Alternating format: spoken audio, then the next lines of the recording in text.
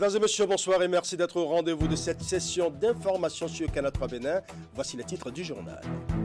Encore du renfort pour le parti bloc républicain dans la commune de Péréret. Il s'agit des 17 cellules qui représentaient le parti Force Cori pour un émergent dans l'arrondissement de Guinagourou, le plus vaste de la commune de Péréret.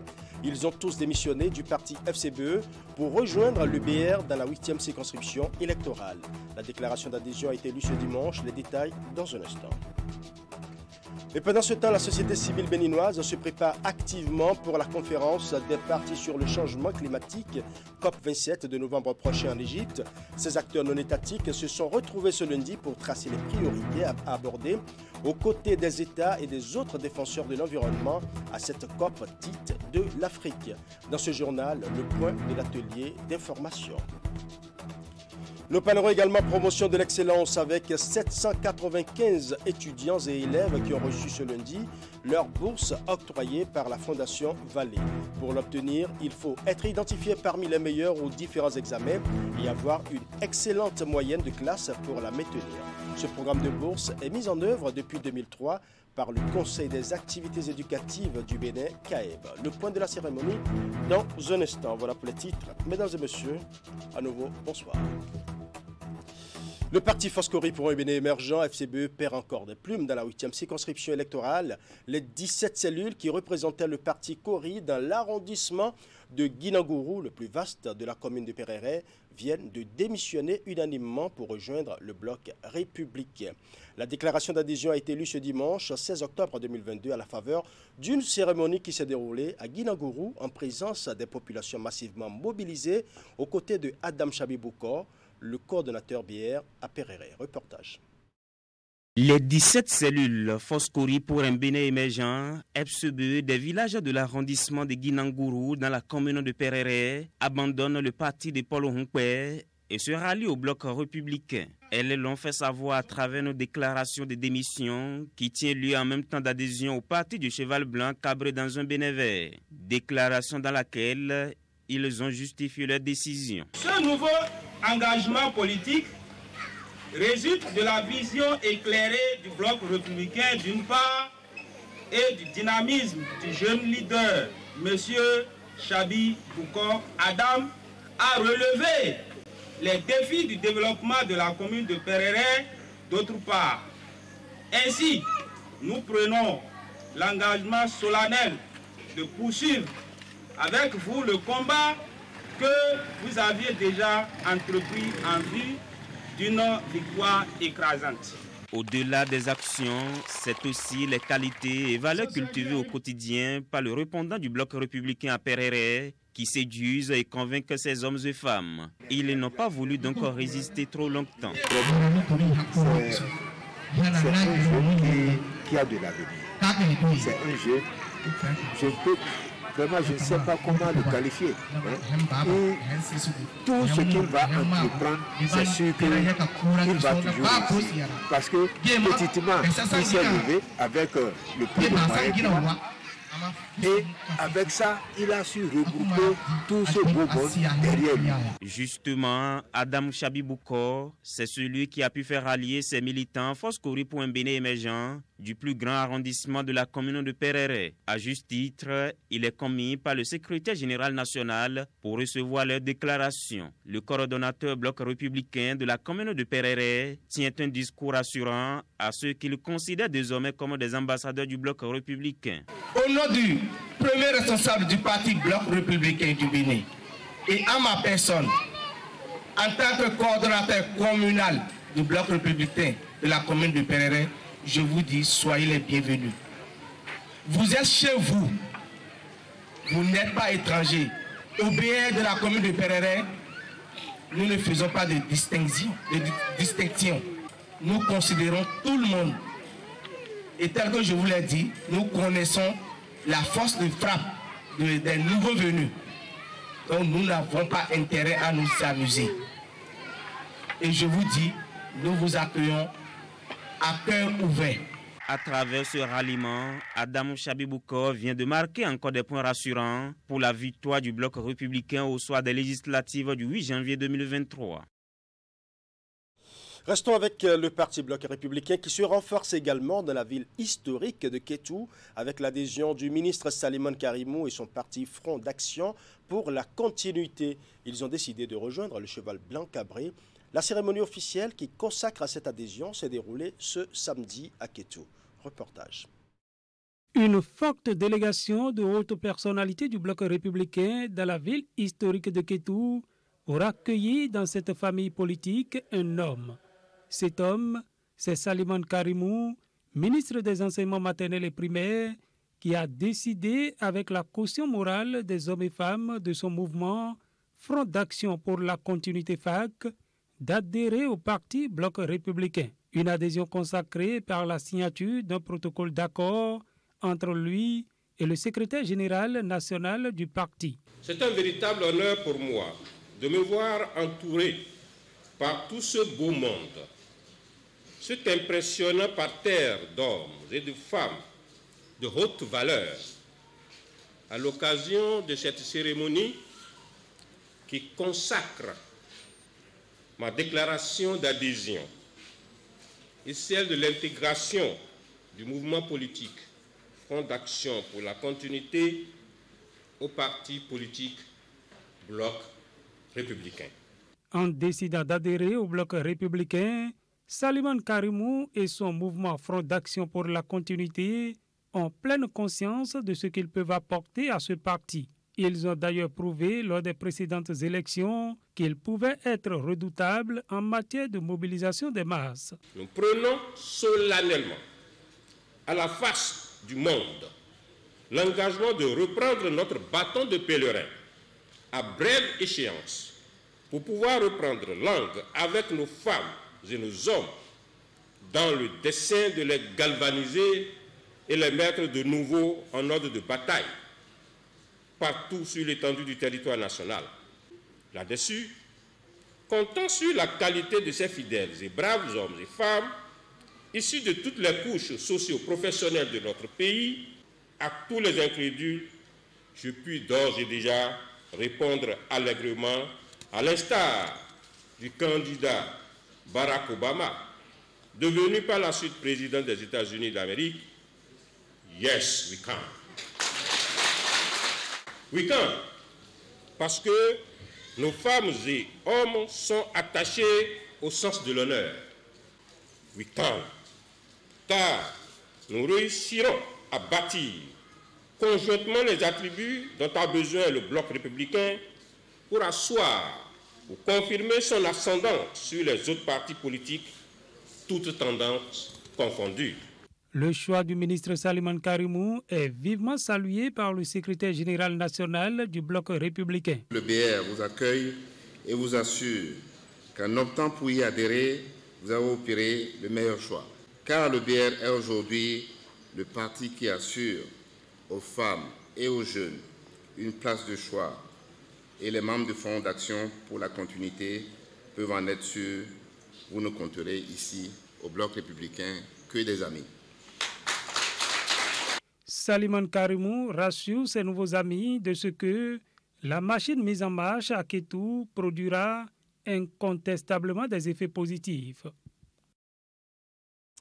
Et pendant ce temps, l'Institut néerlandais pour la démocratie multipartite, en collaboration avec l'Institut pour la gouvernance démocratique d'autres partis politiques officiellement enregistrés au Bénin d'un important lot de matériel informatique, bureautique et équipements d'éducation à distance. Objectif permettre à ces formations d'assurer pleinement leur rôle d'animation de la vie politique. Le geste s'inscrit dans le cadre de la mise en œuvre du programme renforcement et appui pour les partis politiques inclusifs et démocratiques. Nous allons suivre sont réunis dans cette salle les représentants des partis politiques officiellement enregistrés au Bénin. Invités par l'Institut néerlandais pour la démocratie multipartite en collaboration avec l'Institut pour la gouvernance démocratique, ils reçoivent chacun un lot important de matériel informatique, bureautique et équipements d'éducation à distance. Par ce geste, les donateurs entendent accompagner ces formations dans leur fonctionnement interne et dans leur mission d'amélioration et d'animation de la vie politique au Bénin. Ces matériels sont constitués ainsi qu'il suit. Un ordinateur portatif HP de 240 gigabits, Intel Core i5 11e génération, plus un sac et un antivirus. Un ordinateur de bureau HP Pro 300 G6 Core i3 de 10e génération. Une imprimante HP Laser Pro 428 tonnerre CF259A HP 59A. Un vidéoprojecteur de Mac Acer, un onduleur Eaton 650 VA. Financé par l'ambassade des Pays-Bas au Bénin à environ 35 millions de francs CFA, ces matériels informatiques et bureautiques dédiés aux partis politiques sont le fruit du programme Renforcement et appui pour les partis politiques inclusifs et démocratiques. Le projet est exécuté par l'Institut néerlandais pour la démocratie multipartite et son partenaire, l'Institut pour la gouvernance démocratique. Pourquoi ce programme? La réforme du système partisan a engendré de nouveaux défis aux partis politiques qui devront désormais assurer un meilleur fonctionnement interne, mobiliser de manière plus inclusive les, les militants, animer plus que par le passé le débat politique au Bénin. C'est donc pour accompagner les priorités du gouvernement contenues dans son programme et soutenir les partis politiques à relever ces défis qu'est née l'idée de la conception de la mise en œuvre de ce programme. Mais en avril 2022, le programme renforcement et appui pour les partis politiques inclusifs et démocratiques vise à promouvoir la démocratie, la paix et le développement au Bénin. C'est le moment pour les donateurs de réaffirmer leur engagement à travailler en commun accord pour l'atteinte de cet objectif. Dans la commune de Semekpodji, l'association pour le développement socio-économique et culturel du quartier CIV a tenu son assemblée générale. C'était l'occasion pour les membres de renouveler le bureau dirigeant et de se pencher sur les problèmes qui minent le quotidien des habitants, notamment l'insécurité, la pollution et l'érosion côtière qui emportent les maisons. Nous allons suivre. Deux raisons principales sous-tendent cette Assemblée générale de l'Association pour le développement socio-économique et culturel du quartier CIV, ADSEC CIV. Permettre au bureau qui a conduit l'association de 2018 à 2022 de faire son bilan et procéder à l'élection d'un nouveau bureau. Mise sur les fonds baptismaux en 2003, l'ADSEC CIV est un regroupement de résidents de ce quartier qui se sont mis ensemble pour contribuer au développement de leur quartier. Les gros problèmes ici demeurent le péril fécal et l'insécurité causés par des squatteurs qui affluent dans la zone ainsi que l'érosion côtière qui emporte des maisons. Notre quartier situé au large du pont de péage de PK11, route de Porto Novo, subit singulièrement une érosion côtière grandissante et inquiétante. Les populations de Seivet, par notre voix, tiennent à remercier le président de la République, son Excellence M. Patrice Talon, pour son écoute attentive à leurs préoccupations. Rappelez-vous, notre plage reconstituée était devenue subitement une belle aire fréquentable et avait même bénéficié d'une opération de plantation de palmiers de la part du ministère du cadre de vie dans le cadre de la célébration de la journée de l'arbre. Mais le constat aujourd'hui est que cette avancée criarde de la mer emporte déjà des maisons de résidents. Mesdames et messieurs, face au niveau alarmant de l'érosion côtière à Seivet, nous voudrions, au nom des populations de Seivet, lancer une fois encore un SOS à nos autorités compétentes et plaider pour les mesures urgentes à la dimension de celles engagées en février-mars 2019, il y a de cela trois ans déjà. Le rapport présenté par le bureau sortant est largement approuvé par l'Assemblée générale qui a décidé de reconduire la plupart des membres dans le nouveau bureau. Au nom des membres du bureau, du nouveau bureau, je voudrais vous remercier pour cette confiance que vous avez voulu placer en nous, en y témoignant par, par ce scrutin, par votre vote, cette confiance-là. Et nous promettons, par rapport à tout ce qui a été dit, les conseils qui ont été donnés, les recommandations qui ont été formulées, nous promettons de pouvoir tenir, relever le challenge pour que les objectifs que vous avez souhaités, tout ce que vous avez assigné, puissent être atteints.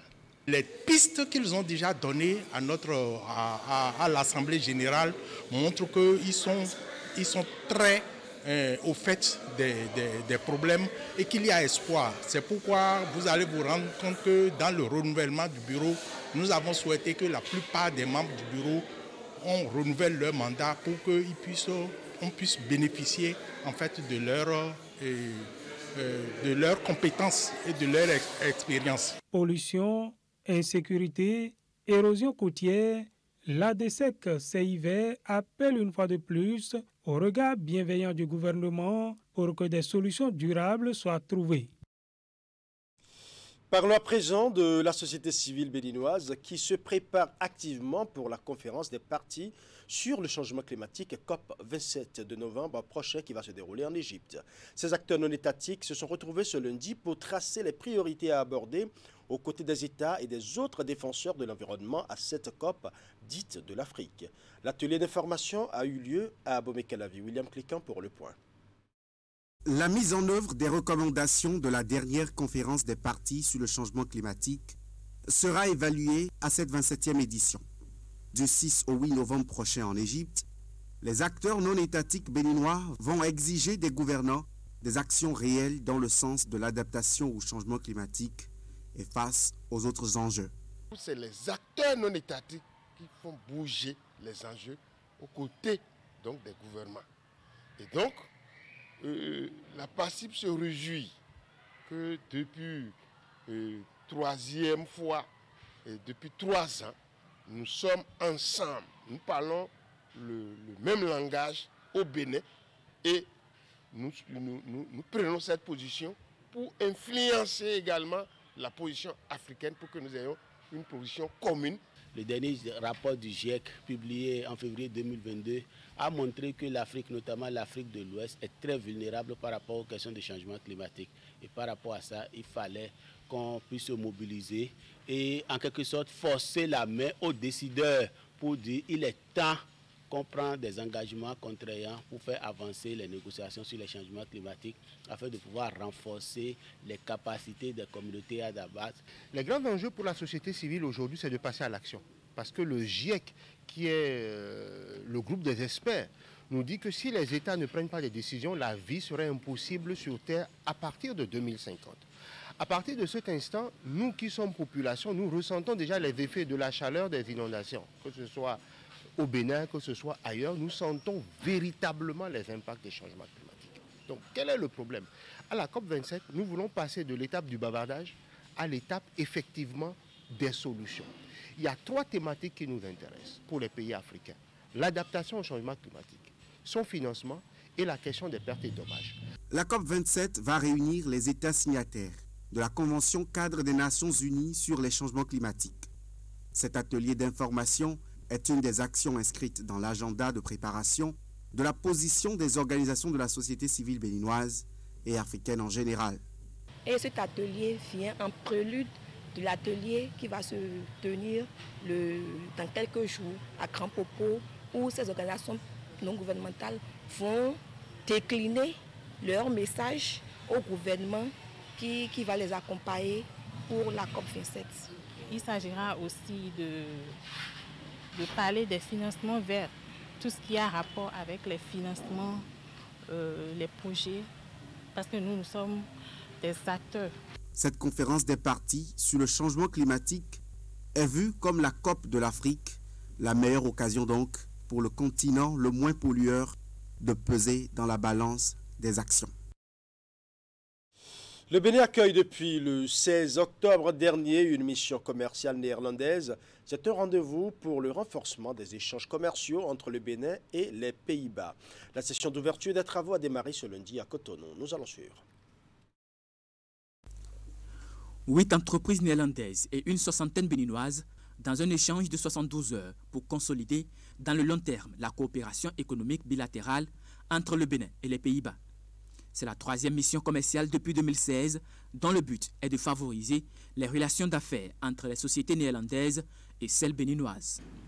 Votre visite aujourd'hui et le profil des chefs d'entreprise néerlandais ici présents doit nous permettre de nouer des relations de partenariat avec des entreprises béninoises qui sont dans ces domaines de manière à intégrer dans notre développement agricole toutes ces nouvelles technologies qui permettent d'augmenter les rendements sans être obligé d'augmenter la pression sur le foncier. Le thème de ces échanges est axé autour de l'agriculture raisonnée et précisément l'horticulture. La partie béninoise s'attelle à apprendre de l'expertise de ses hôtes afin de développer sa productivité dans ce secteur et les chaînes de valeur agricoles et agroalimentaires liées à l'horticulture. Et aussi parce que comme ambassade, on pense qu'il y a vraiment une potentialité. On pense que le Bénin actuellement a fait beaucoup de réformes et beaucoup de changements qui permettent de mieux investir, d'avoir plus de chances. Cette troisième mission est une initiative tripartite entre la CCI Bénin, la pièce et l'ambassade des Pays-Bas au Bénin. Outre les forums sur les matchmaking B2B et les partenariats, les entrepreneurs néerlandais feront la visite du terrain pour voir de près ce qui se fait au Bénin. La communauté internationale a célébré ce dimanche 16 octobre la journée mondiale de l'alimentation. Une journée dont l'objectif est de mobiliser les ressources et la conscience à l'action collective en faveur des victimes de la malnutrition. À l'instar des autres pays membres de l'Organisation des Nations Unies, le Bénin n'est pas resté en marge de cette célébration, couplée avec le lancement de la 26e édition de Téléfood. C'est la ville de Chaoru, dans le département du Borgou, qui a abrité les manifestations au plan national. Reportage. Ne laissez personne de côté, amélioration de la production, de la nutrition, de l'environnement et des conditions de vie, c'est le thème au plan mondial qui a focalisé les attentions pour le compte de cette 42e édition de la Journée mondiale de l'alimentation. Un thème assez évocateur dans un contexte où la faim a franchi un nouveau seuil d'alerte dans le monde. En effet, et comme l'a signalé le directeur général de l'Organisation des Nations Unies pour l'alimentation et l'agriculture, en prélude à cette célébration. 3,1 milliards de personnes dans le monde n'ont pas toujours les moyens d'avoir une alimentation saine. La faim a touché 828 millions de personnes en 2021, soit environ 46 millions de personnes de plus qu'en 2020 et 150 millions de plus qu'en 2019. Une situation dégradante qui s'explique essentiellement par trois facteurs. La crise sanitaire de la COVID-19, la guerre russo-ukrainienne et l'inflation galopante sur les différents marchés. Ici à Tchaourou, les différents acteurs ont appelé à une solidarité internationale pour faire reculer la famine dans le monde. Prenons cette journée mondiale de l'alimentation comme une chance pour repenser notre relation avec l'alimentation et la considérer comme quelque chose de positif dans notre vie. Ce thème vise à n'en point douter à construire un monde durable où chacun, en tous lieux, peut se procurer à suffisance et de manière régulière des aliments nutritifs dont il a besoin. Nul n'ignore en effet que des milliers de personnes à travers le monde ne peut pas s'offrir une alimentation saine. Lutter contre la famine, cela passe essentiellement par l'amélioration des performances agricoles. Et le gouvernement béninois l'a bien compris en mettant en place une politique qui depuis 2016 a permis d'atteindre des niveaux records dans plusieurs filières agricoles. Des progrès importants ont été réalisés dans le secteur agricole, portant essentiellement sur l'élaboration et la mise en œuvre six projets phares de promotion des filières à haute valeur ajoutée, anacade, ananas, culture maraîchère, des filières conventionnelles, maïs, riz, manioc, de l'aquaculture continentale, des viandes, lait et œufs de consommation. Précisons que cette célébration est couplée avec le lancement de la 26e édition du Téléfood qui vise à sensibiliser et à collecter des fonds en vue de lutter contre les poches d'insécurité alimentaire. Sur place, 273 700 francs CFA ont été collectés pour cette cause. Parlons à présent de la direction départementale du commerce et de l'industrie Atakora Donga qui a initié en collaboration avec les partenaires techniques et financiers la deuxième foire interdépartementale du consommant local. Une initiative qui vise à valoriser les produits locaux du Bénin en général et ceux de l'Atakora et de la Donga en particulier dans ce mois du consommant local. La cérémonie de lancement de la foire a eu lieu ce vendredi sur l'esplanade de la mairie de Natitengo. Reportage. Une caravane animée à travers la ville de Natitengu pour annoncer le début des manifestations du lancement de la deuxième foire interdépartementale du consommant local à Natitengu. Nous sommes dans le mois du consommant local en effet et la présente cérémonie qui a réuni les populations des départements de la Takora et de la Donga, ici à l'esplanade de la mairie de Natitengu, est d'une importance capitale. La foire interdépartementale que nous lançons en ce jour est une très grande opportunité pour les forêts pour se faire de bons chiffres d'affaires. C'est aussi une grande opportunité pour la population de la Takura et la Donga pour se procurer des richesses inouïes, des richesses inconnues que, que nos deux départements regorgent. Vous convenez avec nous que les produits qui sont exposés ici sont typiquement des produits béninois. Nous nous devons d'encourager la consommation de ces produits qui permet d'encourager nos producteurs et nos transformateurs au total, 60 stands gracieusement offerts aux forains pour faire la promotion de leurs produits locaux durant 15 jours.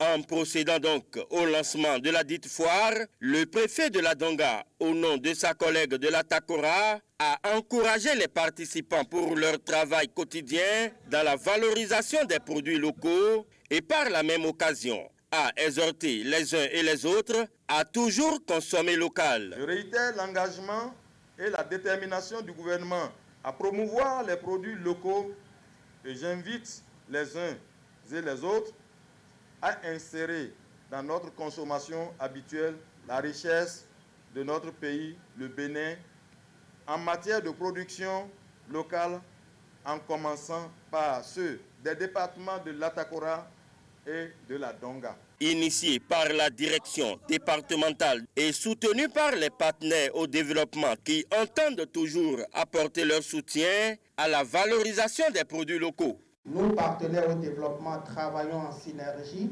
à développer des compétences qui viendront consolider le développement local. Ce rendez-vous est donc l'occasion de mettre en commun les talents et expériences de chacun pour amplifier la portée économique. C'est le moment pour tous d'apporter un soutien indéfectible aux exposants et plus largement à tous ceux qui contribuent à créer de la richesse au niveau de nos territoires. À la fin des manifestations officielles, une visite de stand a été faite au cours de laquelle les différentes autorités présentes ont acheté quelques produits afin d'encourager les forêts. Je annoncé en début d'édition, 795 étudiants et élèves ont reçu ce lundi leurs bourses octroyées par la Fondation Vallée. Pour l'obtenir, il faut être identifié parmi les meilleurs aux différents examens et avoir une excellente moyenne de classe pour la maintenir. Ce programme de bourse est mis en œuvre depuis 2003 par le Conseil des activités éducatives du Bénin, CAEB. Le point de la cérémonie de remise des bourses dans ce reportage. Fidèle à ses engagements, la Fondation Vallée est une fois de plus au rendez-vous pour célébrer et accompagner l'excellence. En ce début de rentrée, les meilleurs élèves et étudiants qu'elle a dans son portefeuille, au total 795 apprenants sur tout le territoire national, reçoivent leur bourse. La tranche de rentrée a raison de 150 000 francs pour les élèves et 300 000 francs pour les étudiants. Les bourses d'études données aujourd'hui sont les bourses Vallée financé par la Fondation Vallée sous l'égide de la Fondation de France et organisé, géré par le Conseil des activités éducatives du Bénin CAEB. Euh, vous savez, on dit que l'éducation est l'âme la plus puissante pour développer une nation. Quand on donne des bourses aujourd'hui à des enfants, ne voyez pas qu'on donne des bourses à des jeunes, à des familles, mais ce sont des bourses qu'on donne à un pays. Ces enfants vont exercer demain des fonctions importantes et en donnant ces bourses, nous accompagnons leur formation, la réalisation, la construction de leur carrière professionnelle. Et nous participons à ce que le Bénin ne soit plus, comme l'a dit notre cher président, un désert de compétences. Parce que c'est formation, formation de qualité. Et pas seulement qu'on cherche de bons élèves, mais on cherche des élèves excellents, puisque comme on l'a dit tout à l'heure, avoir 16 sur 20, ce n'est plus, ce n'est plus hors du commun. Aujourd'hui, il faut avoir 18 sur 20. Et on se rend compte que les jeunes béninois sont de plus en plus tirés vers le haut, ce qui encourage la Fondation Vallée, en partenariat avec le CAEB, à continuer ce programme de bourse. Ce programme de bourse, initié depuis 2003, fait des merveilles dans le rang des élèves et étudiants. Et c'est ce qui fait la satisfaction du directeur exécutif du CAEB, Paul Loco, bras armé de la Fondation Vallée dans la mise en œuvre de ce programme de bourse au Bénin. Nous sommes très très satisfaits, très satisfaits de tout ce qui se passe parce que grâce à cette bourse, euh, je ne peux pas vous dire, hein, euh, il y a beaucoup de il y a assez de bénéficiaires, la plupart, sinon presque tous les bénéficiaires sont, euh, sont continuent quand même de, de, jouir de cette bourse et les tout premiers qui ont fini et qui sont à des postes euh, même internationaux, des postes ravissants aujourd'hui. Et puis, euh, je dirais, c'est une fierté. C'est une fierté, une fierté pour la Fondation Vallée, la Fondation Vallée pour avoir contribué vraiment à cette, euh, à cette réussite des enfants. Et là-dessus, j'en profite pour remercier très sincèrement la Fondation Vallée, euh, son président et son directeur qui euh, vraiment font du bon boulot pour accompagner le CAEB dans la réussite de cette noble mission au profit des enfants béninois. Au total, 176 400 000 francs CFA ont été déboursés par la Fondation Vallée pour cette tranche de rentrée. Tout au long de l'année académique, les apprenants ont aussi la possibilité de fréquenter les bibliothèques et laboratoires de langue implantés par la Fondation Vallée un peu partout sur le territoire béninois. Voilà, ce sera tout pour ce journal. Merci pour votre aimable attention. Bonne soirée à chacun et à tous.